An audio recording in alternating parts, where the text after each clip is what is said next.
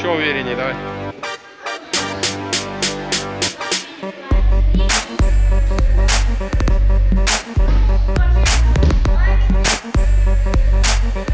Денис, Вот. А теперь сам давай, без подсказки.